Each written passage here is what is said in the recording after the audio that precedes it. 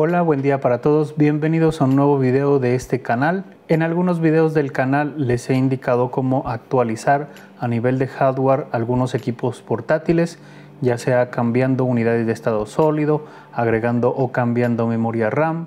Y siempre cuando vamos a hacer ese tipo de cosas les recomiendo hacer un paso adicional que es el de actualizar la BIOS. Incluso en una ocasión una persona me dijo que enseñara cómo hacer este procedimiento, entonces me pareció como buen punto para hacerlo para los que no lo saben hacer.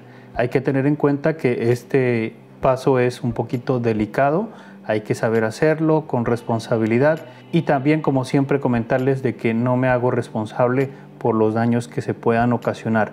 Yo lo voy a indicar cómo hacerlo, pero no indica que cualquier persona lo pueda hacer, entonces mucho cuidado con ese punto. En esta ocasión lo vamos a hacer con un computador Acer, tenemos un Nitro 5, pero por tanto este procedimiento se puede realizarlo con cualquier computador Acer, no importa la referencia. También tenemos que tener en cuenta que la batería debe estar en buen estado para empezar pues con este proceso. Bueno, entonces vamos al computador pues para indicarles cómo se hace este proceso. Bueno, entonces ya tenemos aquí el equipo iniciado con Windows 11 en esta ocasión, aunque el proceso que les voy a indicar se lo puede realizar en cualquier versión de Windows. Y para mirar mejor, entonces vamos a hacer captura de pantalla acá en Windows. Pasamos aquí al computador, entonces bueno, primero lo que debemos hacer es descargar el archivo para la instalación del BIOS. Entonces tenemos que entrar a internet, abrimos el menú inicio y abrimos el navegador que más nos guste pues para esta tarea. En mi caso, mi preferencia es el Google Chrome que no está por ningún lado, pero entonces escribimos Go y ahí aparece Google Chrome. Entonces, bueno, abrimos y aquí en el buscador de Google tienen que asegurarse de que sí es el buscador de Google porque hay equipos que se les ha instalado otro buscador y pues ese no les va a buscar de la mejor manera. De todas maneras, bueno, continuamos y le damos aquí controladores Acer. Le damos ahí nomás y tenemos que mirar que los resultados, por ejemplo aquí dice Drive Pack, esta parte no la manejemos, sino que vamos acá donde dice soporte de producto Acer España, que esta es la misma página de controladores pero en español. Acá está en inglés por si de pronto ustedes la quieren colocar, entonces le damos aquí. Aquí nos pregunta que si aceptamos los cookies, entonces le decimos que sí. Y aquí ya nos muestra que no hay ningún modelo, entonces vamos a darle buscar otro modelo. Y aquí podemos copiar y pegar el serial del equipo o el SNNI también que hay otro código o escribir la referencia. En mi caso yo voy a colocar la referencia que es la AN515-57. Y listo, aquí ya me reconoce el producto de la búsqueda que yo he hecho, entonces le doy ahí y ya se me abre la imagen, bueno, los detalles del equipo. Entonces vamos aquí a la parte donde dice BIOS, firmware, entonces verificamos la versión de BIOS que tenemos. ¿Cómo lo verificamos? Nuevamente vamos acá al menú inicio y aquí presionamos MS Info 32. Entonces le damos a este, información del sistema. Y es aquí donde nos aparece la versión de la BIOS y nos dice que tenemos la 1.17 y la que está acá es la 1.18 eso indica que no estamos con la última versión saliente. Entonces bueno vamos a descargarla. Aquí ya se empezó a descargar. Listo ya se descargó esta parte de acá. Si quieren ya la pueden cerrar. Y ahora sí vamos acá a la desplegable y le damos aquí en mostrar en carpeta y aquí ya tenemos el archivo BIOS. En este caso tenemos que tener un descompresor de archivos que podría ser 7-zip o WinRAR. Para verificarlo le damos clic derecho, por aquí está abrir con WinRAR, pero también podemos ir acá donde dice WinRAR y le damos extraer aquí. Entonces este es el programa que ya nos va a hacer la actualización de la BIOS. Pero antes de empezar con el proceso ya no voy a hacer la captura de pantalla porque para hacer la captura de pantalla necesito un programa y que cuando nosotros estamos ejecutando este proceso todo debe estar cerrado. Por tanto, bueno, voy a cerrar también esta página web y también le recomiendo paso adicional reiniciar el sistema para que se cierren todos los programas y cuando vuelva a iniciar ya podemos ejecutar este archivo. Incluso debemos desconectar cables HDMI, dispositivos de los puertos USB, todo, dejarlo limpio. Entonces en este caso yo tengo un mouse inalámbrico, ya lo desconecté y por eso pues ya estoy grabando pues con la cámara desde acá porque pues ya no estoy haciendo la captura de pantalla. Entonces bueno, vamos acá al archivo, le damos clic derecho, ejecutar como administrador, esperamos un momento y esto ya se va a actualizar.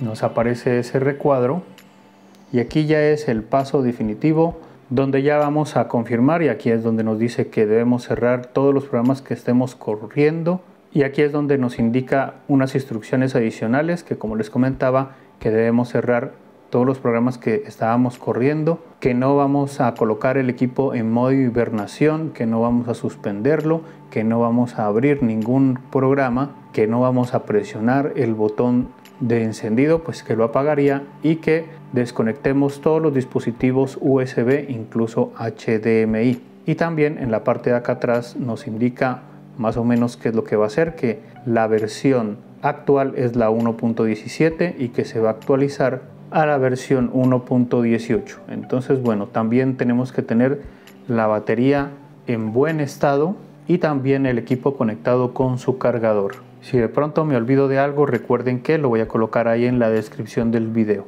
Bueno, entonces vamos a darle a aceptar. Listo. Y esperamos a que se ejecute el proceso. Ahí se va a reiniciar el equipo. Reinicia y cuando inicie va a empezar con el proceso de actualización del BIOS.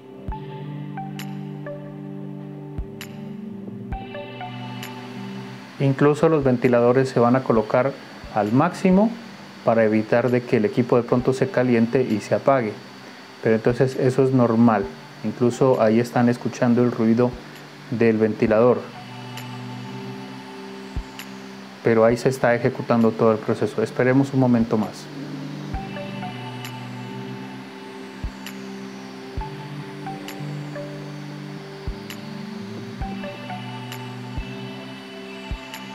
Aquí es donde no debemos desconectar el cable de poder, o sea, el cargador, y tampoco debemos presionar el botón de encendido que pues, de pronto lo apagaría. Mejor dicho, no tocar nada del computador.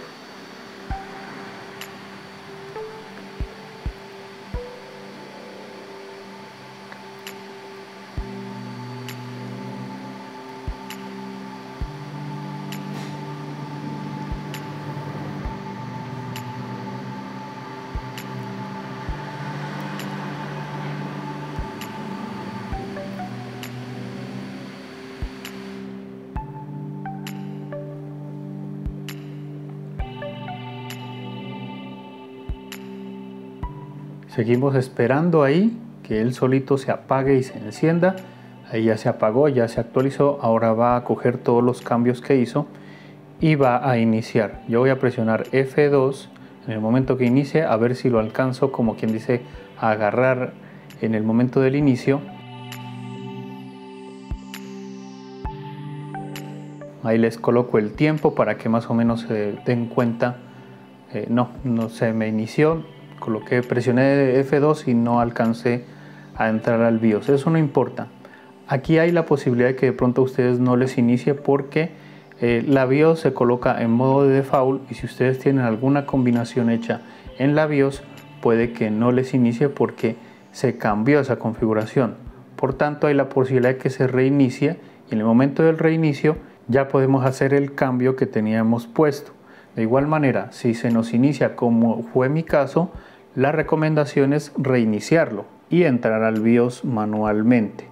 Entonces yo lo voy a reiniciar porque ahora ya sé que le puedo presionar el botón F2 en el momento que vaya iniciando. Miren, ahí ya se apagó, entonces yo lo presiono. Y listo, ahí ya pude entrar al BIOS normalmente. Entonces, como les decía, la idea es ir hasta la parte de exit y darle aquí que cargue los valores por defecto. Que si le damos, automáticamente ya se coloca aquí en la parte blanca donde dice guardar los cambios y salir, entonces le damos ahí y nos vuelve a preguntar de que confirmemos esa parte. Entonces le damos que sí y nuevamente se va a apagar y nuevamente se va a encender.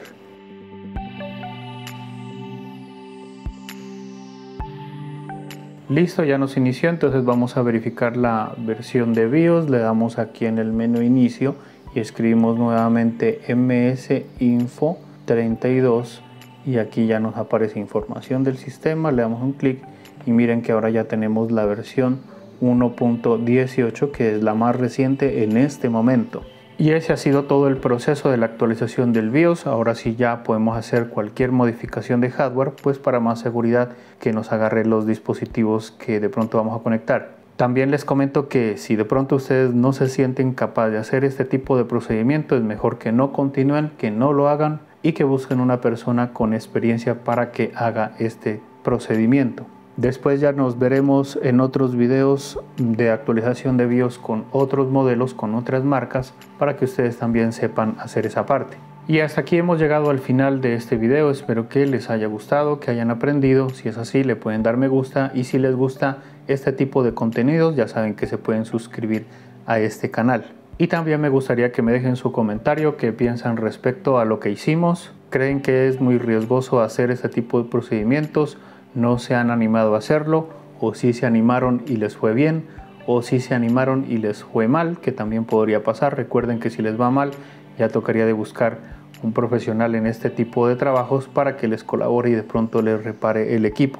Y sin más decir, bueno, ya nos vemos en otro video más adelante, que estén bien y chao.